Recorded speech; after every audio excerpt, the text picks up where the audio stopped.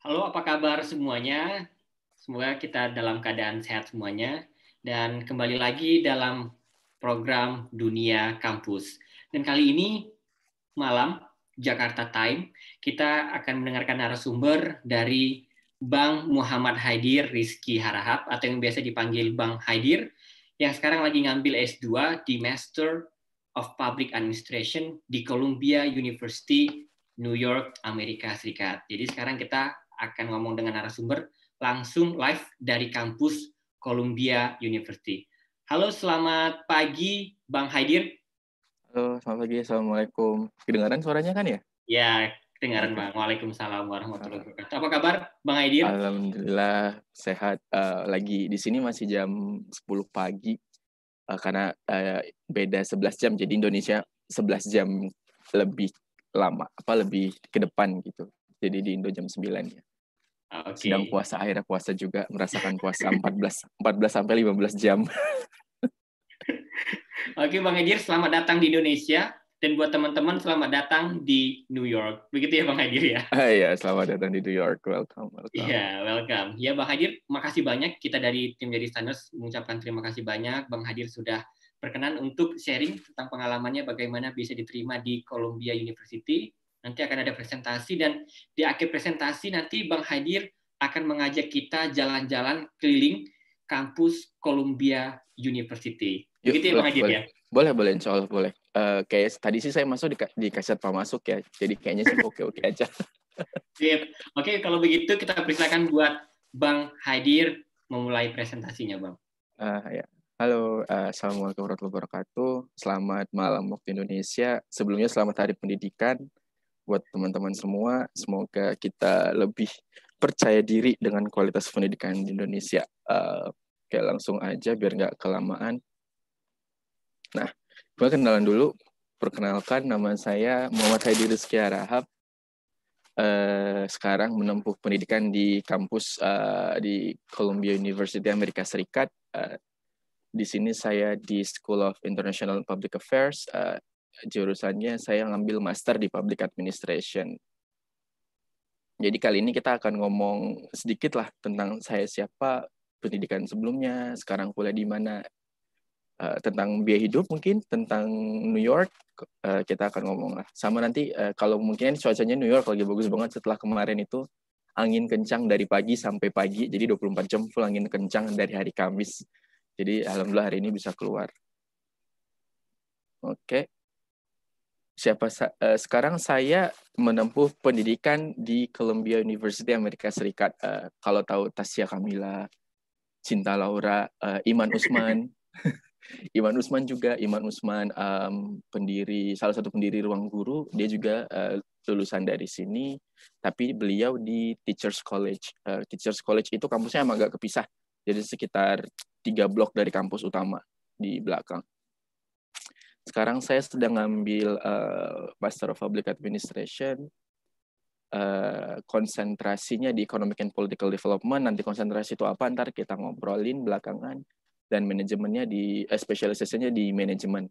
Jadi uh, di sini karena SIPA itu sesuai dengan namanya International uh, Public ya, School of International Public Affairs. Jadi kita itu di sini luas banget sih yang dipelajari jadi uh, makanya kita dibagi-bagi supaya kita uh, bisa tahu mau arahnya ke mana konsentrasinya ke mana. Nanti kita bisa obrolin lebih panjang. Lu dari stan. Kalau ada anak stan silahkan komen di chat YouTube. Uh, saya dulu dari stan saya D3 di stan. Kemudian saya masuk D3 2007 kemudian lulus STAN 2010, eh, kemudian saya bekerja di Direktur Jenderal Pajak dari 2010 sampai 2014. Kemudian di 2014, alhamdulillah saya dapat kesempatan untuk D4, diploma 4 di STAN juga uh, dari 2014 sampai 2015. Setelah itu saya bekerja, lulus 2015, saya bekerja di kantor pusat Direktur Jenderal Pajak di Gatot Subroto. Uh, kemudian tahun 2017 saya pindah ke Medan. Di Medan saya bertemu Abang Gulo, baru udah mulai dikompor-komporin, ikut-ikut bang, ikut-ikut gitu. kemudian um, alhamdulillah di tahun 2019 saya dapat kesempatan uh, dapat beasiswa di 2018 uh, beasiswa VETA beasiswa VETA itu internal Kementerian Keuangan nah, uh, namanya Financial Education and Training Agency Postgraduate Scholarship jadi beasiswa bagi pegawai-pegawai Kementerian Keuangan gitu. Jadi alhamdulillah pegawai Kementerian Keuangan dapat ada privilege juga nih kita punya beasiswa sendiri. Gitu. kemudian 2019 saya keterima ini. Uh, kalau bisa ngelihat ini saya sekarang lagi uh, uh, slide-nya geser nggak sih kak? Takutnya ya, nggak geser. yes. Ini uh, kelihatan nggak itunya? Um, kelihatan. Kelihatan namanya uh, juga.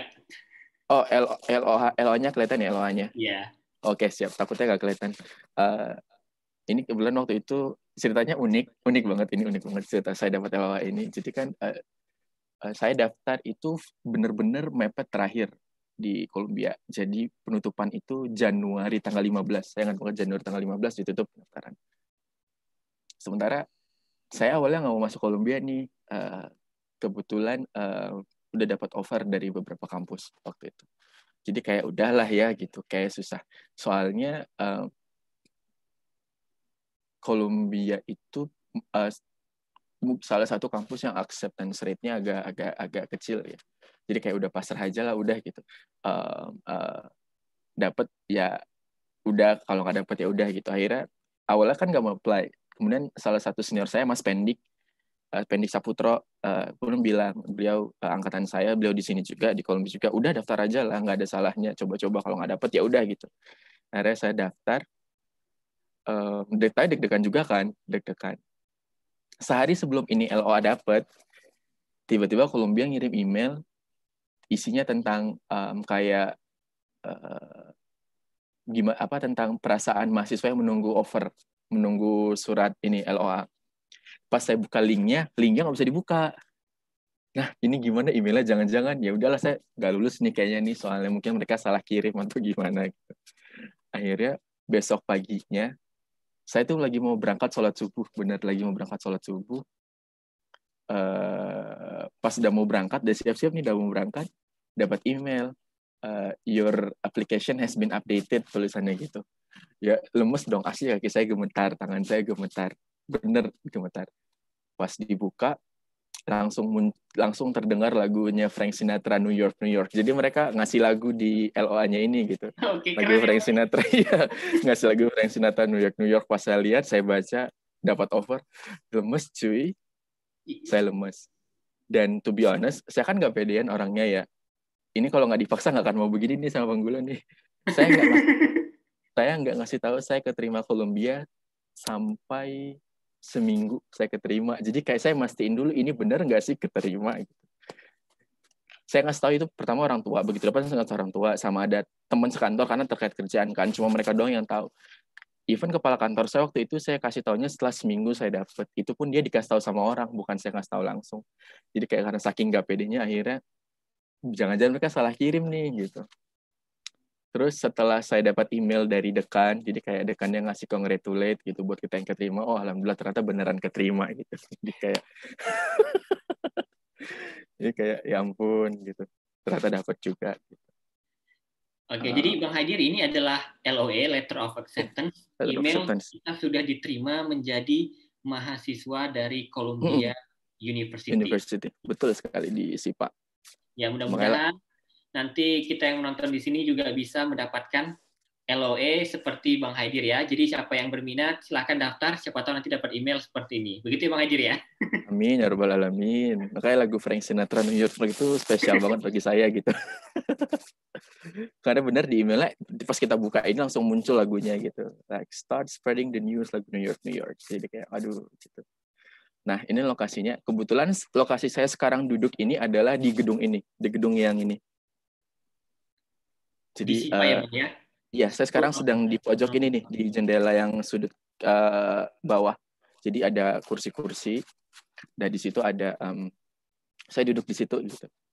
Uh, dan lokasinya kita benar-benar di New York. Ini kebetulan di maps-nya tulisannya lagi close karena kita emang close. Makanya tadi saya ketika pengen ah kampus tour gitu biar sekalian jalan-jalan keluar. Pas saya buka ternyata kita dibolehin masuk ya udah berarti boleh masuk. Jadi kita kampusnya di benar-benar di tengah kota, uh, di kota di uh, Upper West Side kita bilangnya Upper West Side di New York. Jadi New York itu kan ada banyak ya ada Upper East Side, ada Upper West Side gitu. Jadi uh, saya di Upper West Side. Kalau lihat di peta, uh, yang kampus utamanya itu yang ada Columbia uh, yang di tengah-tengah itu, yang hijau sendiri. Ntar kita ke sana deh, kita kasih kasih lihat. Wah pantengin. keren nih, jadi nggak sabar nih pengen ke sana. Pantengin terus, pantengin oh. terus. Promosi ya kak. Uh, gitu. Uh, saya di 118 eh 100 ya 118 uh, West. Yang unik dari New York itu dia jalannya pakai nomor. Jadi semakin ke atas dia semakin kecil gitu. 117, 116, 15 sampai nomor 1. Nanti setelah nomor 1 ada jalan lagi gitu. Kalau tempat tinggalnya Bang Haidir? Saya sendiri tinggal alhamdulillah di dekat kampus, dekat banget dari kampus. Saya tinggal nyebrang sebenarnya karena kemarin alhamdulillah dapat housing tepat di seberang kampus. Dan ada cerita unik juga sih dengan hostingnya, nanti kita bisa cerita-cerita deh. Tapi okay. menyenangkan sih seru. Uh, ya ini uh, sedikit summary untuk kayak ini kayaknya cohort cohort itu kayak kayak angkatan lah. Ini kayak angkatan saya, kita yang keterima di SIPA itu ada 265 average age-nya 26. Jadi rata-rata yang keterima rata-rata mahasiswa di SIPA itu rata-rata sudah punya um, uh, background profesional. Jadi saya ada teman yang dulu kerja di UN, ada teman yang uh, dari akad apa militernya Amerika Serikat. Saya ada teman yang dia punya startup sendiri, ada teman yang kayak udah jadi deputi di mana. Jadi uh, kita ngelebur. Jadi kayak uh, makanya uh, uh, jadi SIPA ini kayak emang professional school sih jatuhnya ya. Karena saya lihat semuanya sudah punya punya background pekerjaan. Tapi ada juga kok yang begitu lulus S1 langsung keterima di sini juga ada gitu. Jadi uh, makanya average age-nya agak-agak uh, tinggi gitu. Saya punya ada kita yang saya punya teman di atas 35-an kayaknya ada deh. Jadi beliau itu kayaknya veteran Amerika Serikat, veteran militer apa masih di militer lupa, tapi masih kuliah di sini gitu. So di sini sangat inklusif. Jadi kayak whatever umurnya berapa aja uh, selama bisa masuk, insya Allah pasti bisa masuk. Kemudian kita ada dari 35 negara, kebetulan di SIPA itu international student-nya paling tinggi ya, 69% kita international student. Paling banyak international student-nya itu dari Tiongkok, terus dari Meksiko, dari Jepang, Brazil. Jadi kayak the whole world is in this place itu nggak nggak bohong sih. Jadi kayak uh, miniaturnya dunia kalau saya bilang sih. Makanya ketika saya di kelas uh, ngerasa kerdil banget. Jadi kayak ternyata di luar negeri itu banyak hal yang udah dilakukan oleh orang-orang luar negeri yang saya sendiri nggak tahu. Jadi benar-benar di SIPA ini uh, kayak broaden my perspective about uh, about everything. Jadi kayak um, uh, luas banget lah perspektif kita gitu. Jadi nggak mandangnya dari satu. Jadi kita diajar buat berpikir holistik sih. Satu hal yang saya dapat dari SIPA itu kayak gitu gitu karena uh, kayak kemarin saya kita baru bahas tentang uh, corruption di Kuba, baru bahas tentang education di Afghanistan. Kita juga pernah bahas tentang water crisis di negara lain, pernah bahas juga tentang uh, healthcare di India. Jadi kayak kita benar-benar luas banget. Perspektif kita tuh luas banget. Jadi uh, uh, menurut saya sih salah satu kelebihannya gitu. Makanya kemarin kalau kita boleh ngomongin ranking ya, menurut ASU US News, salah satu lembaga akreditasi itu, untuk international and global policy SIPA nomor satu waktu itu. Tahun tahun yes. ini nomor satu. Keren nih aduh bukan saya ya orang yang yang lain gitu. Nah kalau bisa lihat eh, itu gitu. dan kita kebanyakan cewek eh, enam puluh persen cewek tiga puluh persen eh, cowok. Kemudian kita ada dari non profit dari public and government dari private sector uh, backgroundnya jadi di SIPA saya kayak di stand saya sering dengar bahasa Jawa, di SIPA saya sering bahasa Cina, bahasa India, bahasa Prancis, bahasa Jerman, karena kita banyak banget kan mahasiswanya. Next, nah SIPA itu dia ada tujuh program. Ada MPA program saya sekarang, Public Administration, ada MIA, International Affairs. International Affairs nih kalau kayak kita tuh Kementerian Luar Negeri. Jadi ada tuh uh, orang Kementerian Luar Negeri Indonesia yang masuk di sini dia MIA. Jadi kalau saya kalau mata kuliahnya kayak kemarin saya lihat mata kuliahnya Terrorism and Counter Terrorism uh, tentang International Affairs. Kemudian ada MPA EPM itu Economic eh, Economic and Policy Management. Jadi lebih kepada policy economics. Kemudian ada MPA DP. DP itu Development Practice. Jadi ada juga teman saya dari Bapenas yang keterima di MPA DP, seangkatan dengan saya. Jadi pelajarannya itu kayak kita desain policy untuk development practice di negara-negara berkembang gitu-gitu. Jadi kayak emang emang emang emang uh, agak emang emang spesifik. Jadi dia emang beda. Kalau saya MPA-nya lebih broad, kalau MPA DP emang untuk development practice. Kemudian ada MPA di Environmental Science and Policy, jadi khusus tentang masalah lingkungan ada eksekutif MPA ini untuk yang udah kerja kayak mungkin kelas karyawan ya tapi kayak bukan kelas karyawan sih jadi kayak mungkin dia direktur dia susah untuk kuliah full time jadi dia ikut yang eksekutif MPA kemudian SIPA juga ada satu uh, eh, PhD in Sustainability Management. Jadi ini kayak uh, policy yang sifatnya sustainable. Saya nggak terlalu dalam tahu. Cuma saya punya satu teaching assistant dia dari Argentina namanya Mr. Eh, Gabriel. Jadi dia dia PhD di sini dan dia pernah ngasih papernya paper tentang water crisis policy tentang uh, environmental policy. Jadi kayak tentang sistem kayak tentang how to maintain uh, how to create a policy which that is sustainable. Jadi kayak dan itu ilmunya bagus banget sih. Mungkin kalau ada kesempatan PhD ya saya ya saya mungkin pengen coba ambil PhD uh, tentang ini sih. Soal kayak keren banget. Amin amin, amin, amin, amin. doakan Bang Haidir tadi belajar ambil MPA Master of Public Administration. Itu apa aja yang dipelajarin di MPA, Bang Haidir? Nah, ini dia. Jadi di MPA itu okay. kita ada uh, enam, enam, enam concentration. Jadi seperti saya bilang, di SIPA itu kita ada lebih dari seribu kelas ya. ya SIPA itu menawarkan like more than thousand classes kalau di situsnya gitu. Um, uh, jadi kayak dan um, di uh, ini kita dibagi enam supaya kita lebih lebih uh, lebih lebih fokus kita mau ngapain. Uh, uh, saya kebetulan ambil yang economic and political development. Jadi kuliahnya sehari-hari tuh kayak kita belajar economic development. Jadi kayak um, uh, makroekonomi tapi untuk economic developmentnya. Jadi kayak kita belajar kayak production function, terus gimana tiap negara yang secara kapabilitas beda tapi pertumbuhannya kok bisa beda eh kapabilitas sama tapi kok growth-nya beda yang menyebabkan beda apa. Jadi makanya kita belajar economic development. Kayak uh, saya juga belajar politics and policy making. Jadi kayak gimana caranya belajar how to create naskah akademis lah istilahnya. Research naskah akademis dan sebagainya gitu. Kemudian ada juga uh, energy and environment. Ini mostly fokus tentang energi.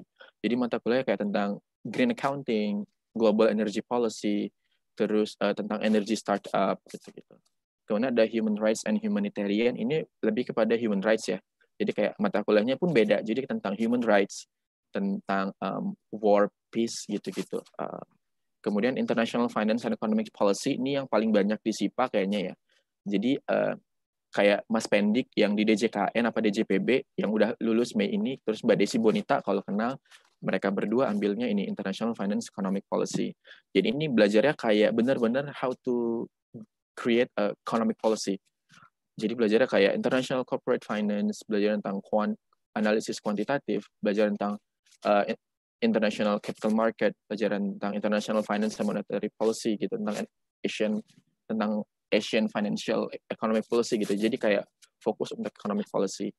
Kemudian ada tentang international security policy ini, jadi kayak rata-rata teman-teman yang ambil rata-rata yang militer. Jadi kayak belajar tuh kayak yang saya kenal yang ambil rata-rata yang militer atau yang kerja di Kemenlu.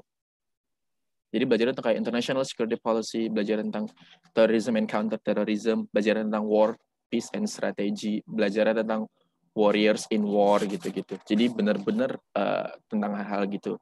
Dan urban social planning. Jadi ini kayak belajar tentang uh, mungkin saya nggak terlalu dalam paham ya mungkin tentang tata kota kayaknya. Soalnya pelajarannya kayak tentang uh, sustainability uh, development building gitu-gitu. Jadi kayak uh, mata kuliahnya emang spesifik. Jadi kita setiap konsentrasi ini uh, mata kuliahnya beda-beda. Uh, tapi kita itu ada ada mata kuliah wajib yang harus kita ambil. Kayak ekonomi makroekonomi politics and policy making uh, statistik satu. Uh, kalau saya wajib ambil economic development karena saya kan konsentrasinya economic and political development gitu.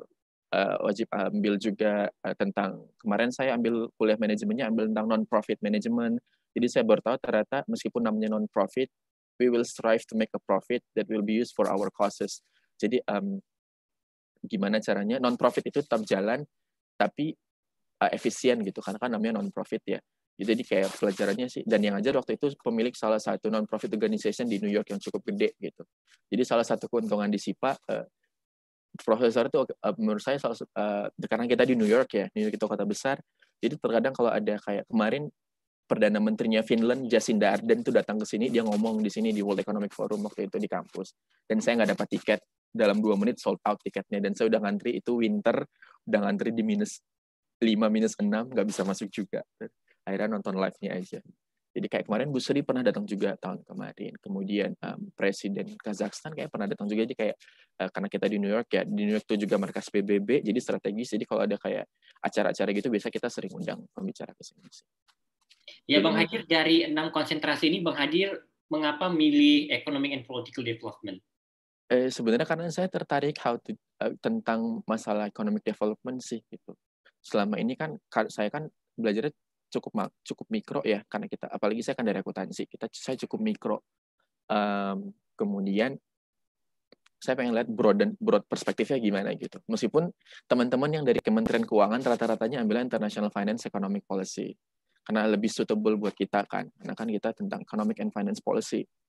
Tapi saya mikir mumpung udah di sini dan ada jurusan yang menawarkan how to create a, karena saya mikir untuk membuat kebijakan di bidang economic development saya juga pro politics gitu makanya uh, di sini saya pertama kali terpapar dengan political science kayak gila ternyata political science itu bukan sekedar ngafalan a lot of quantitative skills itu ternyata butuh buat political science ya gila jadi kayak uh, dan saya lemah banget hitung-hitungan sebenarnya jadi kayak challenging sih tapi menyenangkan sih menyenangkan gitu sangat sangat menyenangkan Next. Kuliah. Di SIPA itu kita minimal ambil 54 kredit. Nah, jadi satu mata kuliah ada yang tiga kredit, ada yang satu setengah. Jadi cuma ada tiga dan satu setengah. Yang satu setengah itu biasanya sifatnya seminar kayak uh, impact investing, uh, impact investing and evaluation itu satu setengah. Uh, ada juga yang kayak jadi ke mata kuliah yang pendek-pendek itu yang seminar-seminar rata-rata ada yang satu setengah. Uh, rata-rata uh, terus mata kuliah lain rata-rata tiga kecuali politics and policy making itu empat kayak accounting statistik uh, political development kemudian uh, statistik itu rata-rata tiga tiga SKS dan untuk setiap semester kita boleh mau ngambil berapapun mau ngambil 9, mau ngambil 12, mau ngambil 15, 18 rata-rata mahasiswa ambil terus 12 sampai 15 karena kan kita dalam empat semester harus terpenuhi 54 ya minimal jadi ambil 12 dan 15 itu yang paling uh, memungkinkan. Misalnya kita ambil 12, dua semester ambil 12 mata, ambil 12 kredit jadi 24. Kemudian uh, dua semester sisanya kita ambil 15 gitu. Jadi pas 54 gitu. Tapi kita ada juga karena di SIPA orang-orang yang pada super smart. Jadi rata-rata banyak yang ambil juga 18. Saya nggak kebayang saja ambil 15 kredit itu ngos-ngosan. Kayak kalau nggak kalau nggak kuliah dari rumah rumah mungkin saya kayak rutinitas sehari-harinya datang kampus pagi pulang kampus kadang pulang pagi jadi pulang dari kampus kadang pagi ya datang kampus pagi kadang pulang dari kampus pagi jadi kayak tugasnya super banyak uh, tugasnya challenging dan tugasnya rata-rata kelompok jadi kita benar-benar dipaksa untuk collaborate jadi SIPA memastikan bahwa kamu tidak hanya pintar tapi kamu juga punya teamwork juga punya interpersonal skill yang oke. Okay. makanya kita tugasnya rata-rata kelompok. Jadi kita dipaksa untuk collaborate sama sama orang gitu. Which is fun. Menyenangkan. Menyenangkan banget sih. Kemudian ada core course dan electives. Core course itu tergantung konsentrasi yang tadi ya. Kalau electives itu tergantung spesialisasi. Jadi spesialisasi itu kerucutan lagi dari dari dari mata kuliah. Jadi kayak dikasih cluster-cluster gitu sih ada yang manajemen ada yang gender and public policy mungkin teman-teman ada yang terkait dengan masalah gender equality kita juga ada spesialisasi gender and public policy ada tentang technology and media communication. Jadi mungkin teman-teman yang tertarik tentang public affairs, tapi tetap dari segi komunikasinya kita juga ada di sini. Jadi sifat itu sangat broad sih, gitu. Dan ada lebih dari seribu kelas, uh, more than um, thousand classes. Jadi mata kuliahnya banyak banget dari yang biasa sampai yang unik. Saya pernah nemu mata kuliah apa kemarin ya? Creating Social Enterprises. Ada pernah nemu mata kuliah uh, eh, UN Studies. Jadi belajar tentang UN, belajar tentang PBB ada UN Studies, ada mata kuliah Terrorism and Counter Terrorism, ada mata kuliah War and Peace Strategy, jadi strategi perang dan perdamaian. Jadi kayak mata kuliah-mata kuliah gitu yang wah gila seru banget sih. Sekarang saya spesialisasi manajemen, jadi fokusnya uh, tentang uh, manage, tapi saya bisa pindah gitu. Kita bisa pindah ke spesialisasi mana aja dalam, tapi harus ngajunya di semester awal Gitu. Jadi di manajemen saya udah belajar tentang social value investing. Social value investing yang kemarin yang ngajar itu cucunya Warren Buffett. Jadi Howard Buffett yang ngajar kemarin waktu itu. Gitu. Yang ngajar juga social value investing. Yang ngajar waktu itu juga Profesor William Emiki. William Emiki itu salah satu pioneer revitalisasinya Central Park di New York. Jadi kayak like he's the big name in New York. Jadi kayak wah gila profesornya oke oke banget. Kemudian saya juga belajar tentang kuantitatif di bidang education. Jadi gimana mengakses kesuksesan suatu kebijakan pendidikan gitu. Yang ngajar itu waktu itu profesornya Kiki Popelekes. Jadi beliau itu dari S1 sampai S3-nya di Harvard. Jadi gila, like super resourceful. Kemudian um, kelas-kelasnya oke-oke banget. Profesornya super approachable saya pernah curhat waktu itu saya ada dapat nilai jelek di statistik. Saya datang ke profesor prof bilang nilai gue jelek banget nih. What should I do. Udah santai aja kamu udah lama gak kuliah kan? Bisa diperbaiki bisa diperbaiki kita gitu. jadi kayak like you can talk about anything to your professor like they are super approachable. Jadi enak banget sih. Jadi kayak gila sih.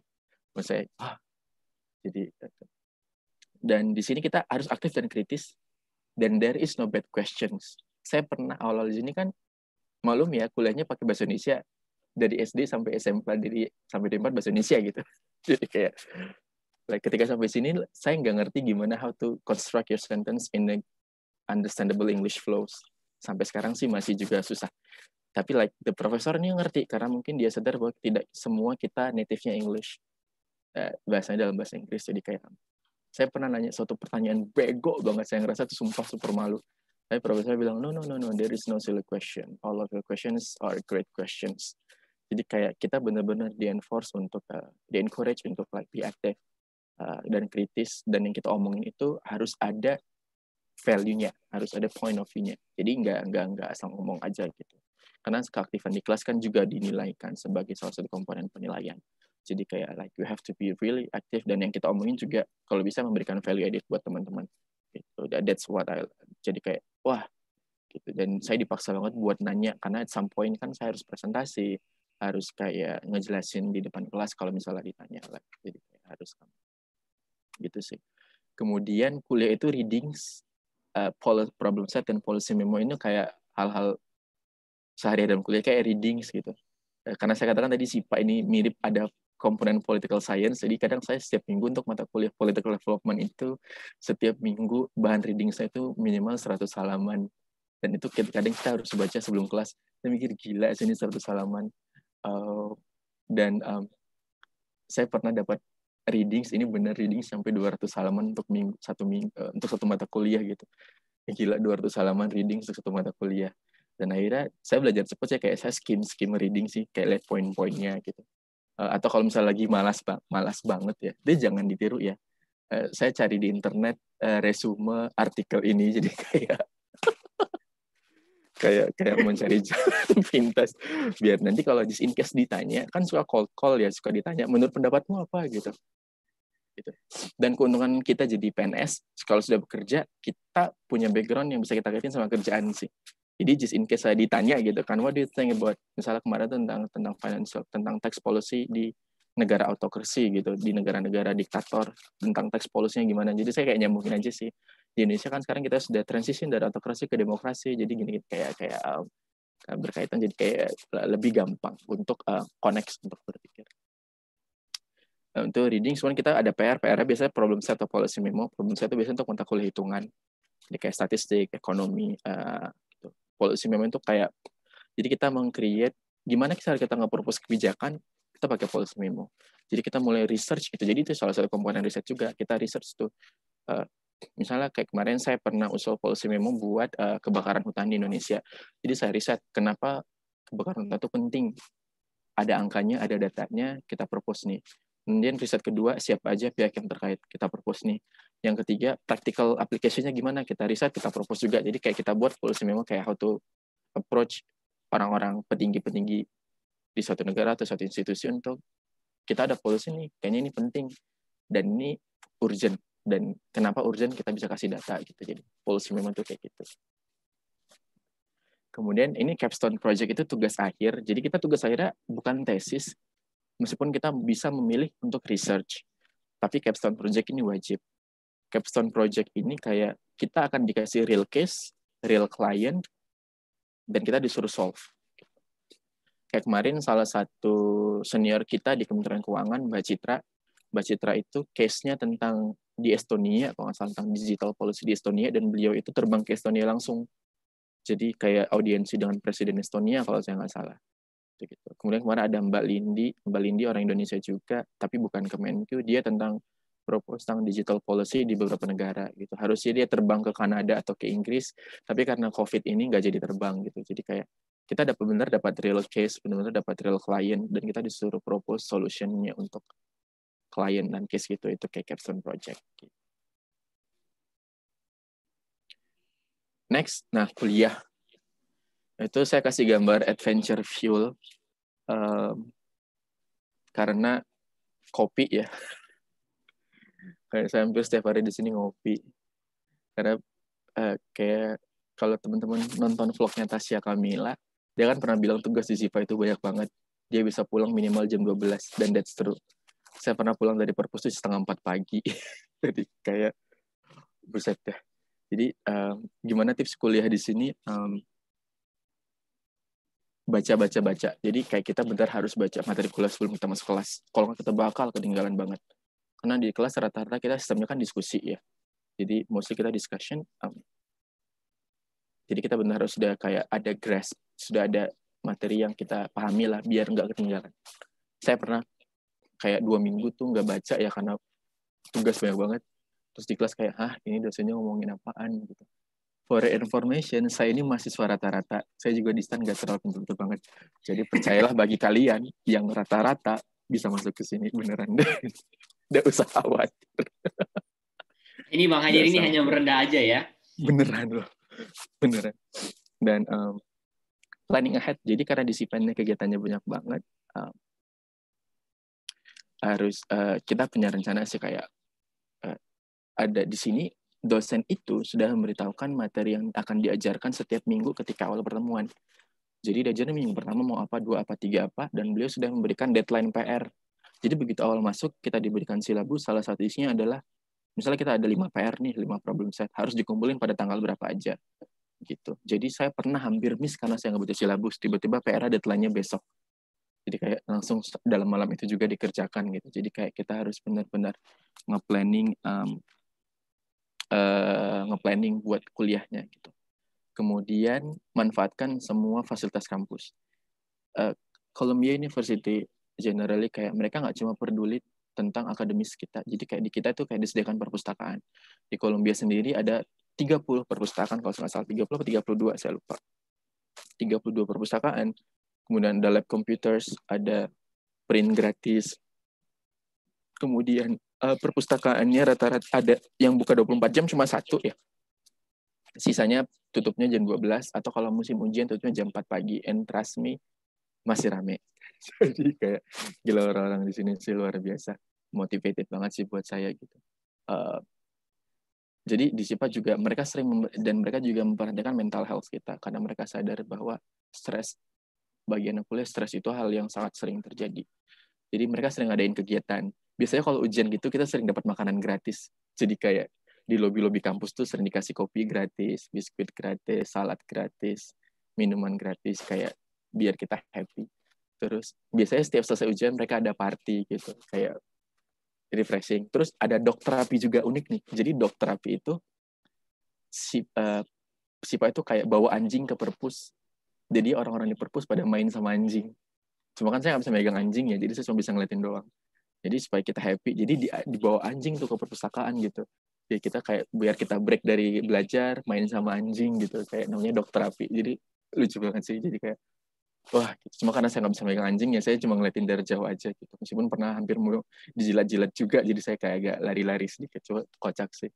Terus mereka juga uh, suka ngadain game suka ngadain acara-acara sepasca ujian atau di tengah-tengah minggu ujian supaya kita itu bisa sedikit santai lah bisa uh, bisa break a leg gitu.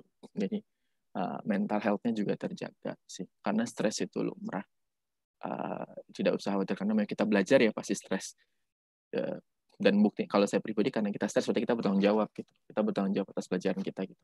Tapi yang penting how, how we cope bagaimana cara kita keluar dari stres. Jadi di kampus itu fasilitasnya banyak banget sih jadi kayak uh, mereka tahu kita stres dan mereka nggak memaksakan kita kayak di push terus gitu. Jadi kayak mereka tuh benar-benar memperhatikan mental health kita juga gitu sih. Jadi manfaatkan semua fasilitas kampus. Kayak datang ke office hour ketemu dosen nanya-nanya materi sama dosen tuh sama teaching assistant. Uh, manfaatkan gym karena di kampus ada gym ada kolam berenang gitu uh, manfaatkan games di kampus ada no study room jadi kita bisa main games main jenga main air football gitu-gitu jadi kayak main piano atau main even main kayak air hockey gitu, -gitu. jadi kayak um, silakan dimanfaatkan sih karena mereka sadar bahwa kuliah di sini berat. Gimana New York? Ini saya kasih gambar kue, mohon maaf ya. Karena di sini belum buka puasa. Di sana udah buka puasa ya? Udah. nah, yang atas itu cheesecake favorit saya di New York. Itu saya kalau misalnya habis ujian, saya suka memberi reward pada diri sendiri gitu. Habis ujian nih, nggak apa-apa deh saya makan enak sekali-sekali gitu. Ini favorit saya di New York uh, cheesecake-nya. Agak jauh dari kampus, jadi saya sekalian jalan-jalan. Yang kedua, ini yang di bawah itu adalah kue gratis yang sering disediakan Sipa kalau musim ujian. jadi kadang saya suka ngambilin aja gitu. Ngambilin kue, ngambilin kue gitu. Karena mereka suka ngasih kue gratis ketika ujian. Jadi kayak, wah, enak sih suka ngasih makan gratis. Nah, biaya hidup di sini kebetulan karena saya bisanya Veta, Veta itu tidak uh, menurut saya cukup ya. Saya sebulan itu terima 1.750 dolar plus uang buku itu 100 dolar. Jadi rata-rata 1.850 dolar. Um, saya housing itu jadi 70 60 persen biaya hidup saya adalah housing. Nah, housing saya itu sekitar 1.200 dolar ya. Jadi hampir 7 hampir 70 persen. Housing saya 200 eh 1.200 dolar. Kemudian um, jadi sisanya 500 dolar itu saya buat diri sendiri lah, buat laundry karena saya seringnya masak jadi lebih hemat. Jadi salah satu manfaat adalah saya jadi sedikit lebih bisa masak selama di sini. Nggak cuma masak air, masak indomie ya, jadi masak yang lain-lain lihat resep di YouTube. Jadi saya belanja, biasa saya belanja mingguan itu habisnya 20 sampai 30 dolar. Gitu. Cuma some point saya juga pengen makan enakan, sekali-sekali pengen jajan. Kayak pengen nonton bioskop, di sini nonton bioskop mahal cuy tiketnya 25 dolar sekali nonton. Berapa berapa rupiah itu? 300 ribu. Mahal banget. Tapi saya langganan. Jadi kayak kita langganan 25 dolar sebulan nonton bioskop maksimal 12 kali sebulan gitu. Jadi kayak uh, break apa kayak opportunity costnya lebih gede gitu. eh cuy pakai opportunity cost kelihatan mahasiswa ya. Terus um, uh, kemudian uh, yang di sini yang lumayan mahal tuh paket data. Paket data itu per bulan paling murah itu 15 15 dolar. Itu cuma 2 giga cuy. Bayangin pakai data 3 apa 200 ribu cuma 2 giga. Tapi pakai data di sini lumayan mahal sih. Saya mensiasatinya itu kita family plan. Jadi saya kita ngumpulin saya join sama orang Indonesia, kita berlima pakai paket keluarga jadi bisa lebih murah. Dan kita laundry, laundry itu rata-rata kalau kita mencuci kalau misalnya apartemennya ada mesin cuci sendiri, maksudnya di dalam apartemennya ya dalam kamar dalam unitnya. Uh, itu paling kalau teman-teman gitu kan biasanya masalah uang listrik ya. Nanti uang listriknya dibagi-bagi sama satu roommate. Kalau saya kan apartemennya di building jadi di basement itu pakai vendor. Itu sekali nyuci rata-rata 2 sampai empat dolar jadi kayak uh, harus harus harus dibagi-bagi sih.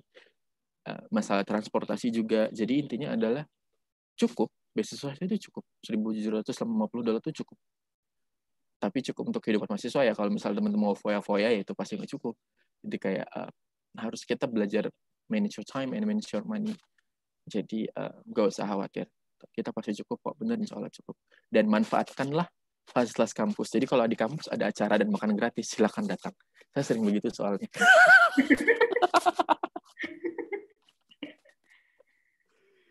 tiba-tiba di broadcast teman tuh ada acara ini di kampus makanannya apa? Difotoin langsung pada datang kita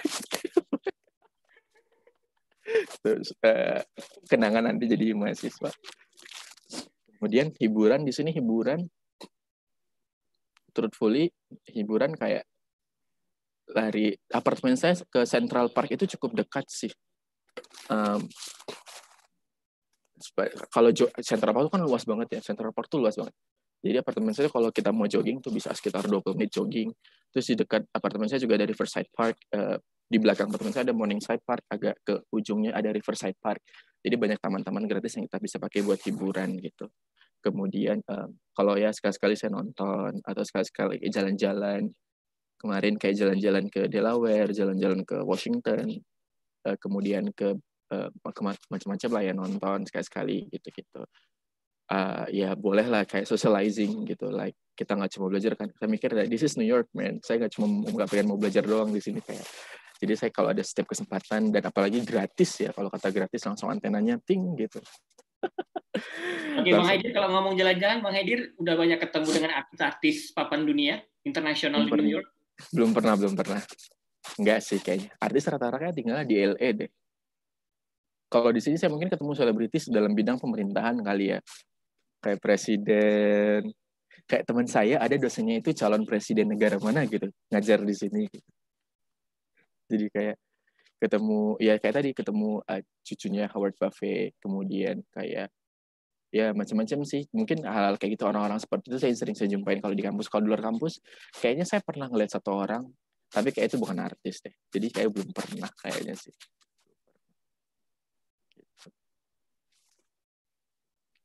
next tips untuk tinggal di New York.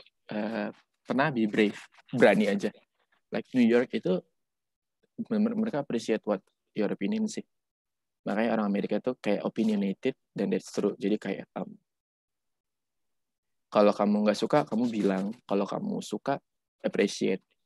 Jadi kayak di sini um, orang itu nggak sungkan kayak ngucapin gila uh, kayak baju lu bagus banget gitu. Like hey how are you? Kayak lu tambah uh, tambah makmur deh gitu. Jadi kayak mereka sangat, sangat senang mengapreciate what you have gitu. Jadi uh, uh, be brave. Jadi kayak kalau ditanya ngobrol aja jangan takut buat socializing gitu.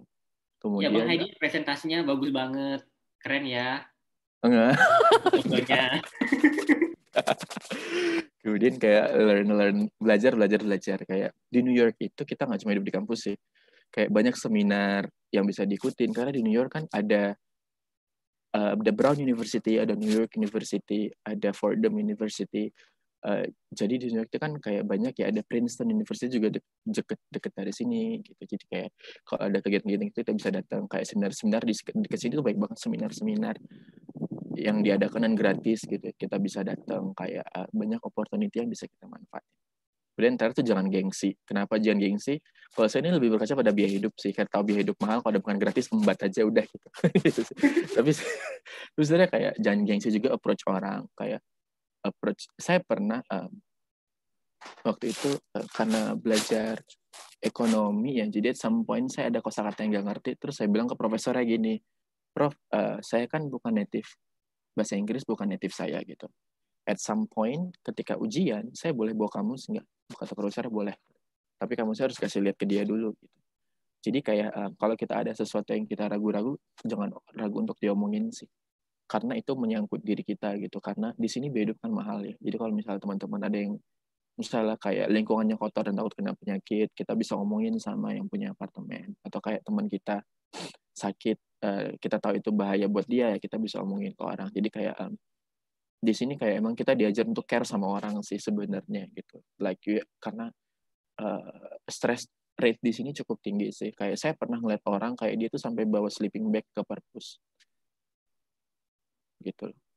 Jadi kayak dia saking takutnya ketinggalan pelajarannya buat sleeping bag ke perpus dia tidur di perpus gitu kayak kayak uh, kita belajar untuk peduli sama orang sih di sini Jack. Kamu peduli sama orang orang akan peduli sama kamu gitu. Kayak berani dan jangan gengsian sih like opportunity di sini itu banyak gitu. Uh, manfaatkan. Apalagi kayak saya cuma tinggal setahun lagi kan sedih banget gitu. Kalau bisa nggak usah balik deh di sini aja. Ya enak banget sih di sini gitu. Ya banyak banget opportunity yang bisa kita dapetin gitu. Jadi pesannya kayak peduli sama orang care sama orang terus like jangan takut untuk beropini itu sih yang saya dapetin dari sini nah ini safety blanket saya ini kita kita masuk sesi narsis nggak apa-apa ya kak ya? Masuk sesi foto-foto ya uh, uh, ini safety blanket. Jadi ini mahasiswa Indonesia yang sedang di Columbia University. Jadi kita ada Columbia Indonesian Society gitu. Jadi kita ada yang dari S1, S2, ya, kayak PhD juga ada deh.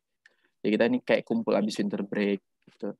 Kemudian ini yang ada background Indomie itu kita lagi di KJRI. Biasa ya anak Indonesia ada acara di KJRI makan gratis kita langsung datang. langsung datang itu indominya ditempel di dinding kita tinggal ambil. Saya ini kejadian lucu sih karena itu indomie ditempel di dinding ya. Mungkin saking saking semangatnya pas saya ambil tuh hampir roboh. Kocak banget sih jadi kayak kita ngobrol, ya bang Ajar ini gitu. foto-foto mahasiswa Indonesia ya mudah-mudahan salah satu yang nonton sekarang ini mudah-mudahan nanti bisa berkumpul dengan orang Indonesia di sini kuliah di Columbia University ya. Amin. Nah ini teman-teman saya kuliah. Jadi ini uh, teman-teman kita study, teman-teman project, uh, teman-teman ya teman-teman di kelas, gitu-gitu. Kayak uh, yang berempat yang di sebelah sini ya, yang berempat itu project. Kita ada project waktu itu nge-advise uh, membuat matrix kayak social value investing matrix kayak impact evaluation matrix lah mirip gitu untuk salah satu non profit organization. Jadi kita tuh sedang ada project buat ngebantu nih non profit kira-kira uh, gimana cara dia mengassess performance-nya. Jadi kayak kita create matrix-nya gitu sih. Dan gila ini project pertama saya gila, gila. Dan teman-temannya super helpful, mereka super resourceful, dan mereka punya pengalaman jago-jago banget. Saya banyak banget belajar gitu uh, gitu. Yang di tengah itu ketika saya recitation politics of policy making kita habis discussion ini kelas terakhir uh, asisten dosennya yang di tengah yang kacamata namanya Ali Ali Azhar gila itu beliau udah non pro kerjanya gila udah ke Liberia udah ke mana-mana gitu deh super smart super helpful baik-baik banget baik banget gila. Saya berkesan banget uh, waktu itu dibimbing sama beliau untuk masalah politics and policy making. Kemudian yang terakhir itu yang foto ketiga itu yang rame-rame yang saya duduk kita tuh habis makan. Itu kayak kelompok ospek gitu loh. Jadi kayak kita kumpul-kumpul habis makan gitu. jadi kayak uh, ngumpul-ngumpul teman-teman. Saya foto-fotonya masih banyak sih. Cuma saya jarang foto sih ya. Jadi kayak memorinya disimpan di hati aja.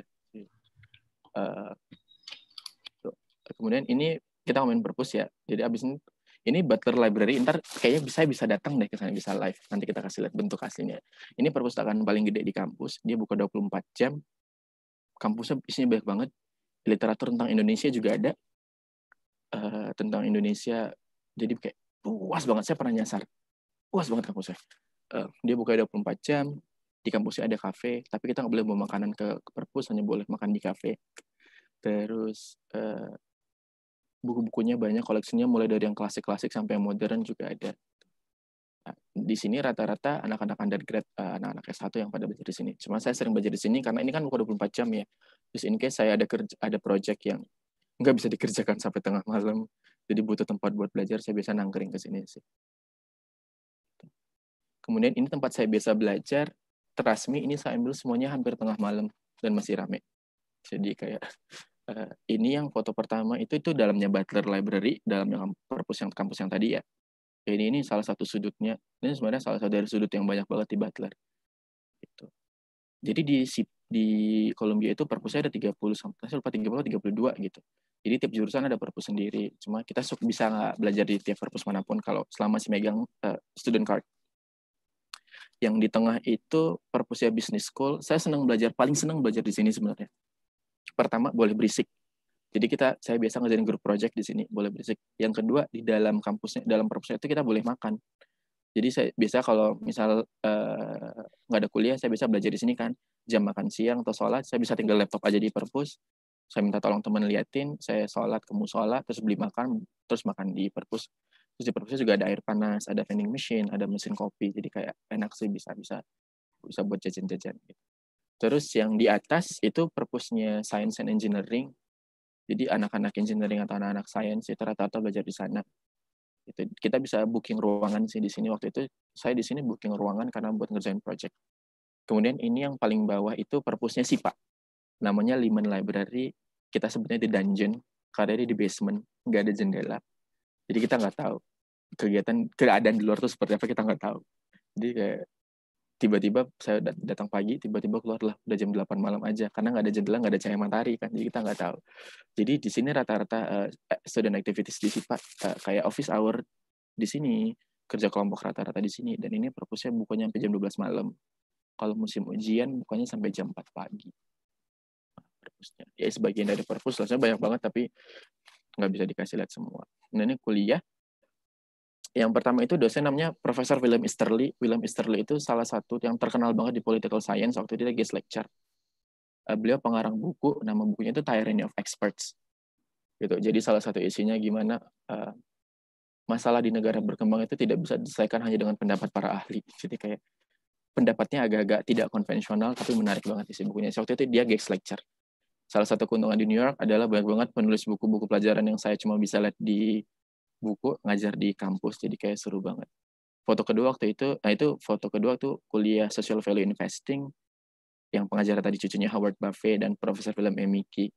Jadi kayak bisa terekspos dengan brilliant minds kayak mereka kayak saya amazed sih sampai sekarang grateful bersyukur banget grateful banget saya bisa dapat di sini ini opportunity ini seminar-seminar yang pertama itu ada Esther Duflo dia baru menang Nobel kemarin kan Nobel Ekonomi dan dia datang ngasih talk di New York University. Karena kampus dari kampus saya ke NYU nggak terlalu jauh kita bisa naik kereta api saya datang buat seminar dan seminarnya bagus banget. Dia bisa menjelaskan istilah-istilah susah dalam ekonomi dengan bahasa-bahasa yang sangat-sangat gampang. Jadi kayak gila sih ini orang uh, keren banget. Dia ngasih talk waktu itu dia baru launching itu bukunya yang Good Economics for for Hard Times. Itu dia baru menang Nobel Economic atas bukunya itu jadi kayak keren banget. Yang kedua itu saya dapat kesempatan tuh conference di IMF di Washington DC itu seminar tentang uh, debt policy rata-rata tentang kebijakan utang. Jadi waktu itu kita ke Washington saya dengan Mas Pendik dan Mbak Desi kita ke Washington DC kita uh, dapat kesempatan untuk seminar di IMF itu dalam gedung IMF seminarnya. Jadi kayak dan saya terpapar gila ya gitu. saya nggak ngerti isinya karena isinya hitungan semua. Dan tapi mind blowing banget dan keren sih. Keren banget kayak humble. Jadi kayak ngerasa lo itu nggak ada apa-apanya gitu kayak kerdil banget. Saya ngerasa kayak kerdil banget di situ kayak gila ya. ada orang-orang begini di dunia gitu kayak. Dan isi sebenarnya bagus banget waktu itu. Jadi kayak berkesan sih.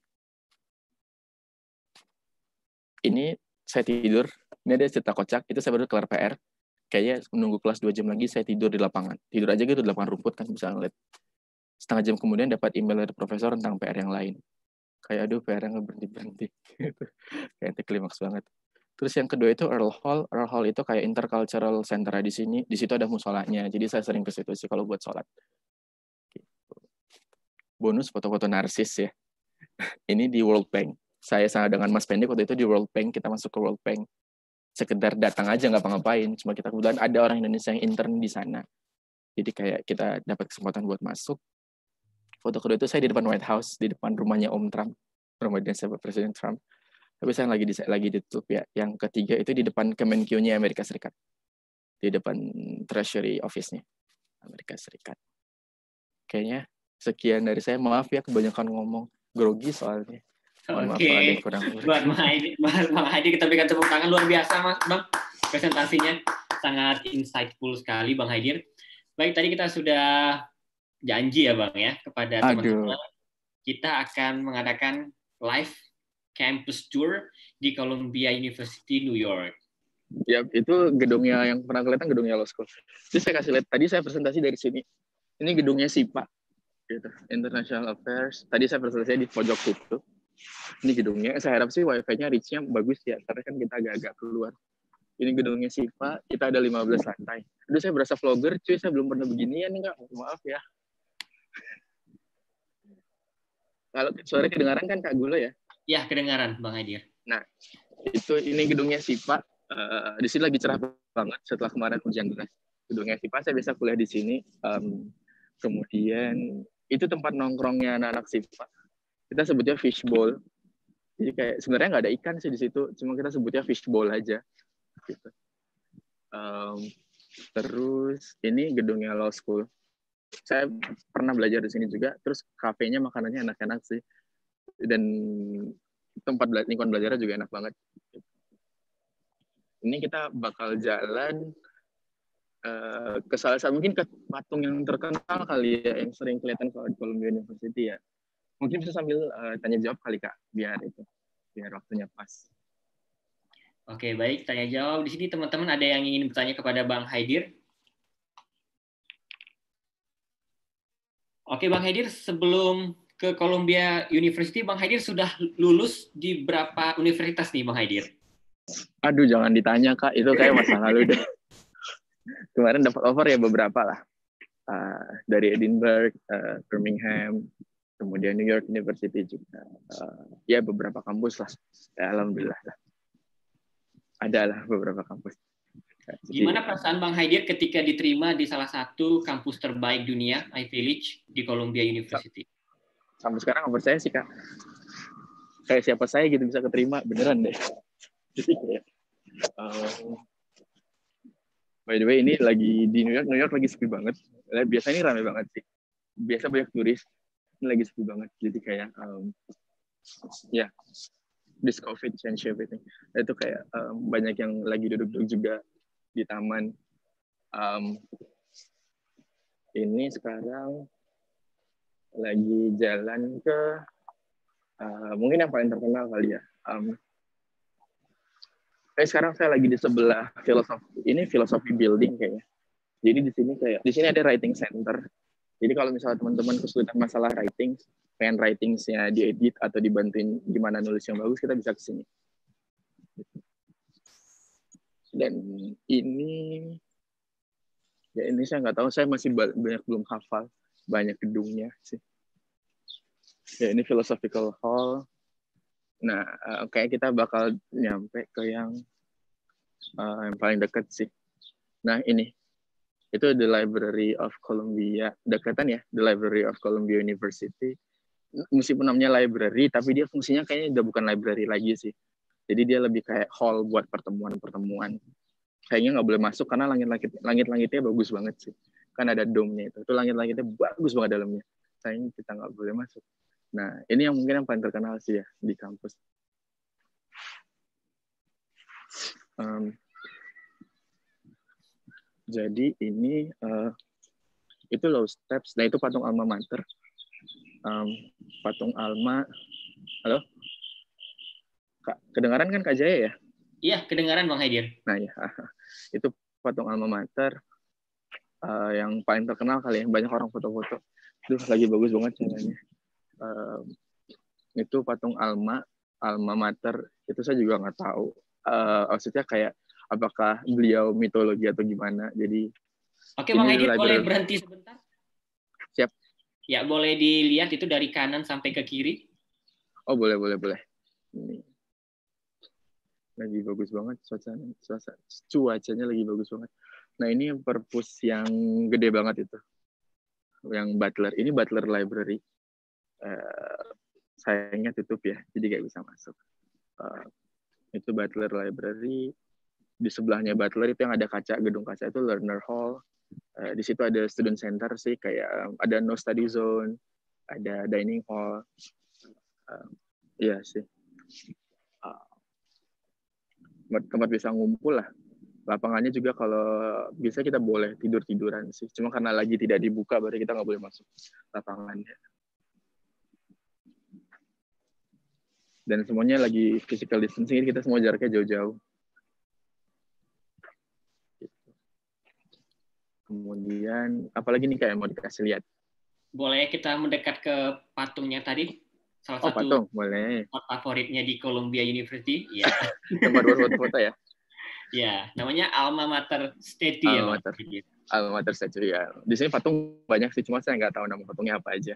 Jadi kayak kalau di Columbia itu belum lengkap rasanya kalau belum berfoto di patung ini Bang Hadir ya. Sama sama Bang Hadir dulu waktu di PK Instan tidak sah foto di air mancur.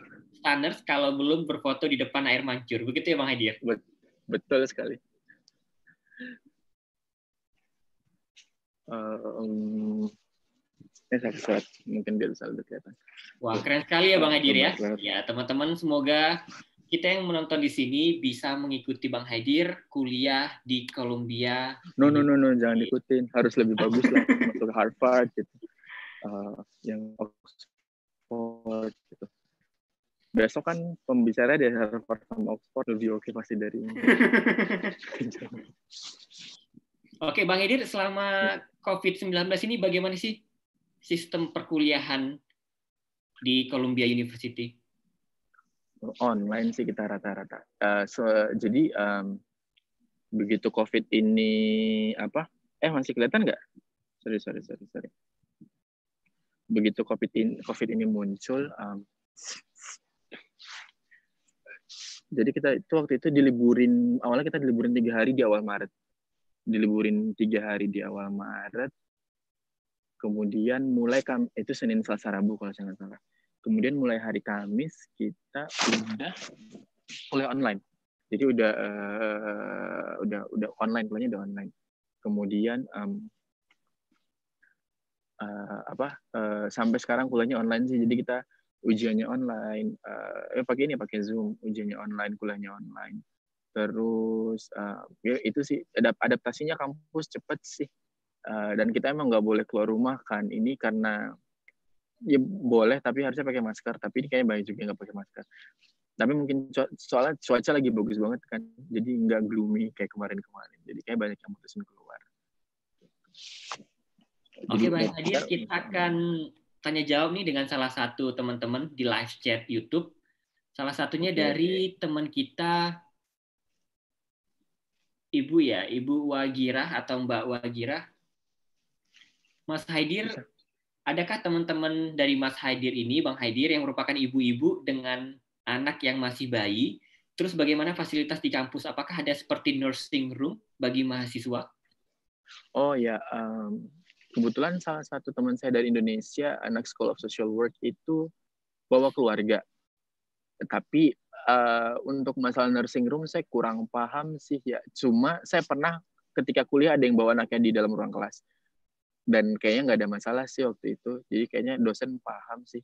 Cuma itu waktu itu mungkin sudah izin dulu. Cuma untuk masalah nursing room saya kurang paham sih sebenarnya ya. Jadi uh, fasilitas untuk daycare di sini bagaimana? Cuma rata-rata yang bawa anak uh, ada yang jaga sih. Kemarin dia suaminya kan ikut ya, jadi anaknya sama suaminya. Jadi kalau misalnya di sini nursing room saya kurang paham dan mungkin bisa ditanya-tanya lagi nanti. Duh, mohon maaf ya tidak memuaskan jawabannya. Rata-rata masukin daycare sih. Kayaknya di sini juga banyak daycare. Terus di SIPA kayaknya juga ada um, apa namanya uh, kayak persatuan mahasiswa yang sudah berkeluarga gitu kayak family association in SIPA jadi mungkin nanti bisa di sana uh, bisa dapat info dari dari situ sih.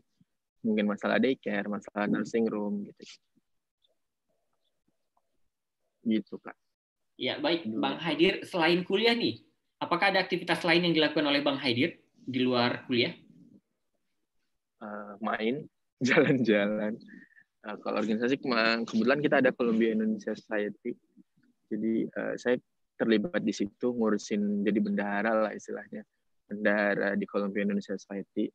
Terus kegiatannya apa ya? Uh, paling ikut-ikut seminar, uh, ikut-ikut uh, conference, uh, terus main, jalan-jalan, ya gitu sih. Uh, enggak enggak banyak, uh, enggak ikut ekskul juga uh, karena di sini kan kayak UKM itu banyak ya cuma saya kayaknya belum ikut belum memutuskan untuk ikut gitu. karena tanggung jawab di Columbia Society kayaknya udah banyak kita takutnya nggak bisa nggak bisa bagi waktu.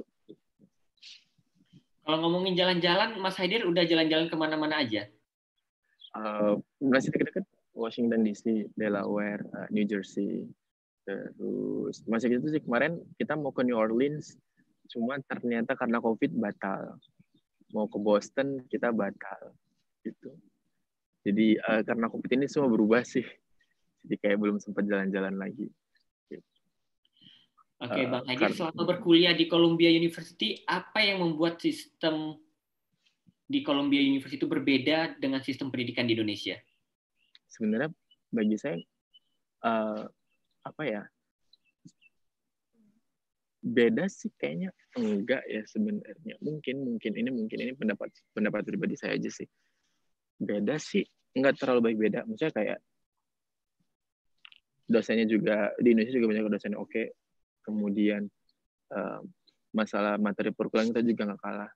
Mungkin bagi saya sendiri exposure sih kalau di sini. Kayak diekspos ke uh, lingkungan yang sangat-sangat luas. Jadi uh, membuat uh, saya lebih open minded kayak uh, pikirannya terbuka. Um, iya gitu. Itu sih yang agak beda. Karena di sini kan kayak tadi ya, sebelumnya kan misalnya dari kayak 35 negara.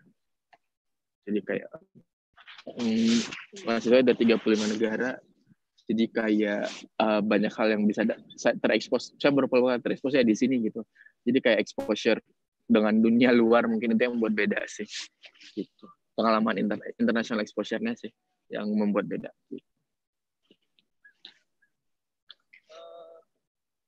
Ya kemudian pengalaman menarik apa nih yang masih membekas di pikiran Bang Hadir selama berada di New York? Pengalaman apa ya? Um, banyak sebenarnya ya. Uh, mungkin uh, pas pertama kali kuliah di sini sih, like to be honest, kayak saya nggak bilang kuliah di sini susah, tapi kuliah di sini tuh challenging. Ya minggu pertama kuliah, minggu pertama kuliah saya udah nggak tidur. Tugas saya langsung banyak banget. Itu sih yang paling ingat banget saya itu minggu pertama kuliah langsung dikasih bahan reading dikasih PR dan saya nggak tidur waktu itu. Kayak gila ini baru minggu pertama. Berkesan sih. Jadi langsung saya dapat shock terapi langsung kayak prepare gitu.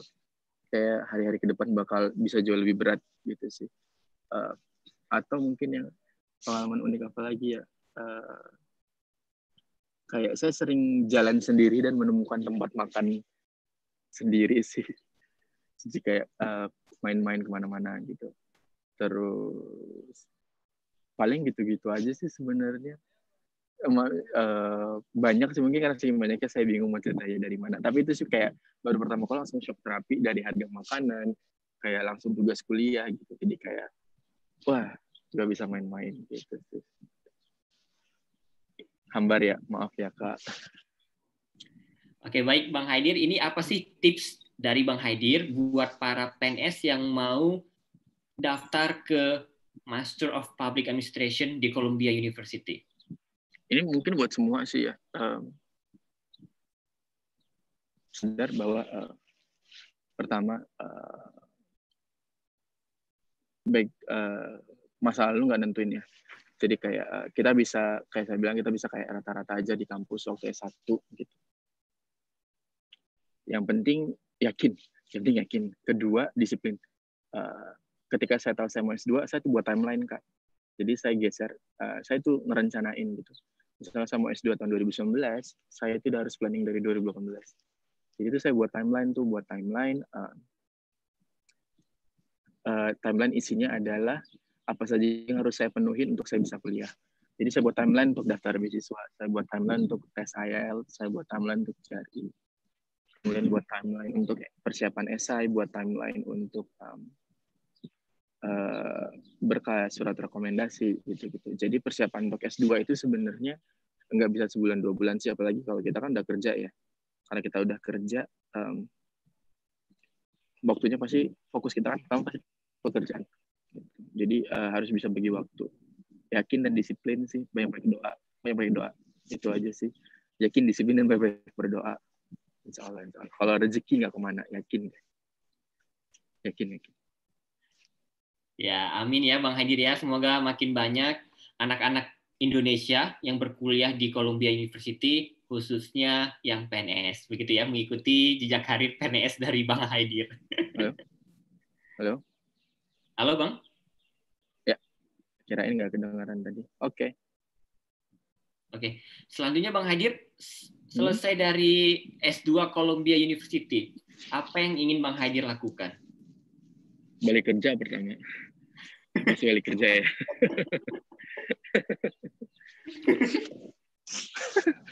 Maksudnya balik kerja. Yang kedua, um, at some point pengen uh, yang saya dapat di sini pengen bisa dipakai sih. Gitu uh, mungkin nanti uh, misalnya akan situasi sih sebenarnya. Tapi yang yang bisa yang saya dapat di sini pengen bisa bisa dipakai waktu saya balik kerja itu yang mungkin saya dapetin di sini. Walaupun tidak terkait sama pekerjaan mungkin bisa buat di luar. Kayak ngebantu-bantu orang. Gitu sih. Nggak ada yang lain-lain sebelum kepikiran kayaknya. Masih pengen menikmati hidup di sini kayaknya sih. Oke baik Bang Hadir. Kelihatannya Bang Hadir lagi kedinginan di sana ya. Di sana Suhunya berapa Enggak. derajat? Di sini sekarang kayaknya 19. Cuma emang dari karena kita itu aja sih mitigasi COVID kan. Jadi karena kemarin ke mana-mana emang pakai jaket. pakai pakai lengan panjang jadi kayak tidak jadi pakai outerwear lah supaya kayaknya emang mitigasi buat covid aja sih even ada orang yang tidak pakai sarung tangan gitu kayak emang emang rata-rata masih uh, mitigasi covid terus karena masih spring ya uh, masih anginnya masih kencang tapi nggak terlalu dingin kok ini cuaca lagi bagus banget bener bagus banget makanya banyak orang ini kalau saya kasih lihat um, wait a second um, itu lagi banyak yang jalan, banyak yang jemur, banyak yang main sama anjing. Wah, bagus sekali ya Bang Adir ya. Harusnya jangan muka saya yang dikasih lihat ya ini aja lebih bagus soalnya lebih menjual. Oke. Okay. Maaf ya kakak-kakak. Ya baik Bang Hadir, ada lagi yang ingin disampaikan kepada teman-teman di Indonesia? uh, tetap semangat, stay safe, stay healthy. Pantengin terus channelnya karena besok saya nonton nih besok dari Harvard sama dari Oxford kan yang bakal ngomong pasti jauh lebih bagus dan lebih insightful dibandingin saya ini kan. Jadi, oh, aduh Bang Ajar ini merendah sekali nih orangnya ya. Uh, Luar biasa. Nah, besok, besok, besok, besok bisa jauh lebih bagus sih pasti. Itu terus stay safe, stay healthy. Uh, semoga bisa ketemu, uh, uh, bisa diskusi lagi gitu. Karena pengalaman ter paling utama yang saya dapat di sini adalah saya ini kerdil. Kayak there are so many people that are greater. Kayak banyak banget yang yang lebih lebih hebat yang lebih jago. Jadi tetap belajar stay hungry stay foolish. Paling itu sih nggak saya nggak bisa ngasih kata-kata motivasi gitu kak. Jadi bingung. Ini tadi barusan sudah kasih kata-kata motivasi. Aduh. Ya begitulah. Tetap semangat mohon maaf kalau salah-salah selama menjalankan ibadah puasa jaga kesehatan. Selamat ya. Hari Pendidikan. Itu aja. Terima kasih Bang Haidir. Terima kasih Kak. Ya, sekali lagi Bang Haidir kita ucapkan terima kasih buat Bang Haidir yang sudah mau berbagi Bang sharing kepada kita di sini dari tim jadi PNS dan teman-teman yang sedang menonton. Sekali lagi kita ucapkan terima kasih dan semoga semakin sukses buat Bang Haidir ya. Kita berikan tepuk tangan buat Bang Haidir. Amin. Nah, baiklah teman-teman jadi PNS, terima kasih sudah menonton program Dunia Kampus bersama Bang Muhammad Hadi Rizky Harahap yang sedang lagi S2 di Columbia University, New York, Amerika Serikat. Mudah-mudahan dari kita akan ada yang menyusul Bang Haidir berkuliah di Columbia University. Kalau bisa lebih ya, Harvard, gitu. Oxford, Cambridge. Biar banyak ya biar semakin banyak anak-anak Indonesia hmm. khususnya anak-anak muda yang mengisi kampus-kampus baik terbaik di dunia sehingga nanti bisa kembali lagi ke Indonesia memberikan perubahan untuk Indonesia yang lebih baik lagi. Baik, kita hmm. akhiri Bang Haidir sekali lagi terima kasih banyak sukses buat kuliah S2-nya di Columbia University. Amin. Makasih, ya, selamat malam dari Indonesia. Selamat dan... pagi, selamat sih. Teman-teman, terima kasih. Selamat pagi dari kota New York, Amerika Serikat. Bye.